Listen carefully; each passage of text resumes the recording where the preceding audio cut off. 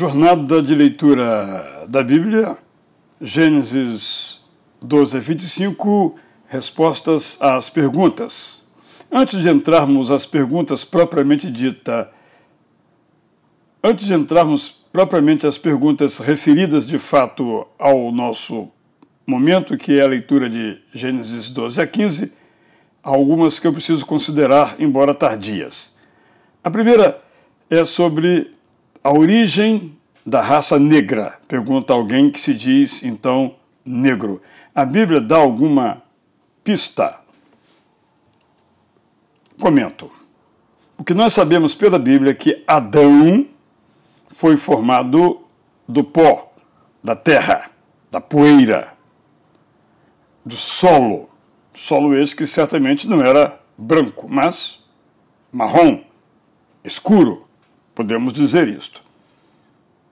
Também podemos juntar o Jardim do Éden com a gênese da espécie humana e considerar, embora seja uma conjectura, que o Jardim do Éden pode estar localizado na África, no Sudão, na Etiópia ou na Eritreia. Hoje, por exemplo, há vários estudos mostrando que o ser humano aí juntamos isso com a história da narrativa bíblica, surgiu na África. Portanto, surgiu negro. É uma maneira de considerar. Abraão teve filhos com Agar, que era egípcia. Por sua vez, também aprendemos que Moisés foi casado com Zípora, que era etíope. Quando chegamos ao Novo Testamento, nós aprendemos, por exemplo, que Filipe, o evangelista, teve encontro com um homem que era etíope. Temos ao longo da Bíblia várias afirmativas da presença de pessoas negras, como é o caso da rainha de Sabá, no contexto da história de Salomão, o grande rei. Então são algumas pistas que nós encontramos, mas o mais importante é afirmarmos que para Deus não há branco nem negro, não há alguém da chamada raça amarela ou qualquer coisa similar. Não há nenhuma justificativa, portanto, de se pensar que Deus tem preferência por essa cor ou aquela cor, seja negra ou seja branca, essas coisas são, infelizmente, das nossas culturas e voltadas, lamentavelmente, para justificar, inclusive, opressões de uns sobre outros. Essas são perguntas de natureza uh, geral e que não têm a ver propriamente com o período que estamos estudando, mas tem mais uma que eu preciso considerar. A pessoa pergunta se há alguma relação entre o pecado de Adão e Eva e a sexualidade. Não existia relação carnal entre eles antes do pecado, antes da, da queda. Se eles tinham filhos antes do pecado, por que não foram banidos juntos? Não há nenhuma menção à sua existência. Bem, de novo, essa pergunta suscita aquela outra pergunta, né, com quem Caim e Abel poderiam se casar. Já respondi isso dizendo que estamos falando aqui de pessoas que viviam 900 anos, logo as relações eram com sobrinhos que nós chamaríamos de sobrinhos netos hoje, distantes, primos, até mesmo irmãos desconhecidos, estavam num tempo bem diferente do nosso. Mas voltando especificamente à indagação, a Bíblia não diz, não estabelece nenhuma relação entre o pecado sexual como sendo o pecado original do ser humano. Que a Bíblia diz que havia uma árvore de cujo fruto não podiam comer, era a árvore da ciência do bem e do mal. Possivelmente indicando com esta atitude humana uma irreverência, uma desobediência ou um desejo de serem maiores do que Deus. Este é o pecado original, isto é, o afastamento do propósito original de Deus para conosco. Mais do que isso, a Bíblia não afirma, não temos como chegar a nenhuma outra conclusão a não ser essa que a Bíblia diz que o pecado original foi o homem não desejar obedecer a Deus e seguir o seu próprio caminho. A pergunta, então, agora mais específica sobre o nosso período, a primeira é a seguinte. Fiquei na dúvida sobre a sua explicação sobre a passagem que Deus fala que veio à Terra verificar as acusações contra Sodoma e Gomorra. Aí a pessoa cita o texto de Jó 1, 6 a 7, depois Apocalipse 12, 10, e pergunta se não há uma relação é, entre Sodoma e Gomorra e a história de Jó. Bem, a Bíblia não nos dá nenhuma pista a esse respeito, mas a pergunta me permite lembrar a resposta que dei em vídeo anterior sobre qual foi o pecado de Sodoma e Gomorra. O pecado ali era a da prática homossexual. Algumas pessoas que participam do movimento homossexual defendem que o pecado foi a falta de generosidade ou de hospitalidade, que os anjos, ao chegarem, aqueles que os atacaram estavam cometendo um grande pecado contra um valor muito caro na cultura de antiga, na cultura de, um valor muito caro na cultura antiga, que é o valor da hospitalidade. Essa explicação não procede porque fica muito claro nos detalhes do texto, infelizmente.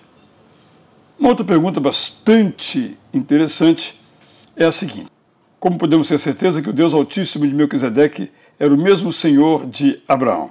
Até aquele momento, o Senhor não é chamado por esse título, e o próprio Abraão, ao dispensar a oferta do rei de Sodoma sob juramento, não invoca a Deus nem pelo nome que lhe era familiar, nem por aquele usado pelo rei de Salém ao lhe abençoar, mas faz uma fusão dos dois nomes. Aí o consulente pondera aqui várias palavras e ele é bastante claro nas suas indagações. Eu comento apenas o seguinte, que essa pergunta nos permite dizer algo que nós não podemos esquecer e que não foi dito até agora. A história bíblica, ou a história da Bíblia, ou a história que se narra na Bíblia, não é autônoma. Nenhuma história é autônoma. A história do Brasil não é autônoma de Portugal, que não é autônoma de Espanha, que não é autônoma de França, que não é autônoma da Inglaterra as histórias das nacionalidades se imbricam, se encontram. De igual modo, de igual modo, repito, se dá com a história bíblica. Os nomes utilizados, as palavras utilizadas, as culturas eh, narradas não são exclusivas de Israel, ou daquilo que seria o povo de Israel, agora aqui ainda é o povo hebreu. Mesmo a lei, quando ela aparece, essa lei ela não é exclusiva, ela se dá na cultura. Assim, os títulos para Deus eram títulos comuns. No caso específico do Deus Altíssimo, a palavra era El Elion, também utilizada em outras religiões. Não existe no vocabulário qualquer possibilidade de Israel ter um único vocabulário. A língua é a língua. E quem fala aquela língua, no caso ali a língua semítica, que depois seria algo como o árabe, ou aramaico, ou hebraico, usam palavras comuns das mesmas raízes. Então, não há como buscar na palavra de Deus uma terminologia que seja exclusivamente sagrada. Quando a Bíblia usa essas palavras, ressignifica essas palavras e dá-las um sentido completamente novo. A cultura, até então, ou era politeísta ou enoteísta, isto é, ou acreditava que existiam vários deuses no mesmo patamar, ou que, como é o caso do enoteísmo, que houvesse um deus principal e subdeuses. A Bíblia é monoteísta. Deus não está acima dos deuses, embora a linguagem usada seja esta, mas ele é o único Deus. Então é importante que se afirme este elemento. Quando então Abraão encontra Melquisedeque, sobre quem nada mais nos é dito na narrativa de Gênesis, não somos informados se Abraão já conhecia Melquisedeque ou não. Fica tudo por conta de nossa imaginação. Eu posso imaginar que Abraão ou conhecia Melquisedeque ou sabia da sua existência, da sua fama como rei de justiça, como rei de Salém. é possível que Melquisedeque também conhecesse, ou pessoalmente, ou de ouvir falar, Abraão, porque de fato os atos de Abraão devem ter transcendido a sua própria cidade ou as cidades onde ele desenvolveu a sua vida. Passo a responder agora então a outras perguntas que nos ajudam a entender esse interessante livro, o livro de Gênesis, um livro realmente, se eu pudesse usar um adjetivo, seria este magnífico. A primeira pergunta que eu posso então formular aqui depois das questões que já foram aqui consideradas, tem a ver com a circuncisão.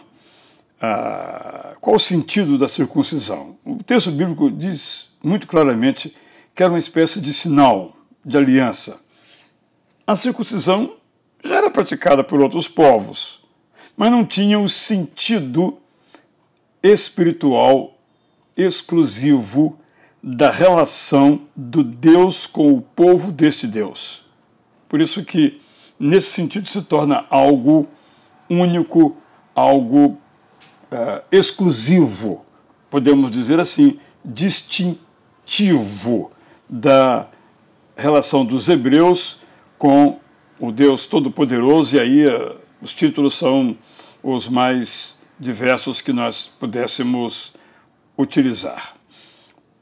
Alguém me fez uma pergunta, talvez em tom de brincadeira, não sei por que, que Abraão, que riu da gravidez de sua esposa Sara, não foi é, criticado e Sara o foi? Bem, a razão pela qual hum, isso aconteceu nós, nós não sabemos, mas possivelmente porque Sara riu com mais força, com mais convicção desta impossibilidade de vir a ter um filho. Também por que, que Deus pediu a Abraão sacrificar o seu filho se ele mesmo proíbe sacrifícios de pessoas é, em toda a Bíblia? De novo, foi uma prova. Deus não pediu propriamente o sacrifício. Deus estava provando a fé que Abraão tinha. Podemos dizer que não há nenhuma possibilidade desse sacrifício ser aceito. Deus só aceitou um sacrifício humano. Foi de Jesus Cristo em nosso lugar. É nesse sentido, o quase sacrifício de Isaac antecipa o verdadeiro sacrifício que experimentaríamos, graças a Deus, pela graça dele, posteriormente. Pergunta: onde fica Sodoma, onde está localizada a cidade de Gomorra? Resposta: não sabemos. Sabemos apenas que naquela região, perto do Mar Morto, é uma região realmente rica em minerais.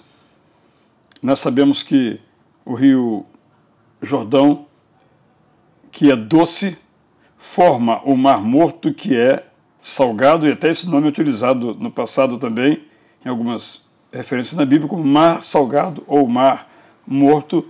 Ele está pertinho de Jerusalém, cerca de 40 e poucos quilômetros de Jerusalém, a borda norte deste mar, e se localiza a 400 metros abaixo do nível do mar Mediterrâneo, que está ali talvez pouco mais de 100 quilômetros, pensando em linha reta. Em linha não reta vai dar quase o, o dobro disso, mas só para a gente ter essa consideração, nós não sabemos onde ficam essas cidades e todos os esforços nesse sentido não têm sido é, frutífero.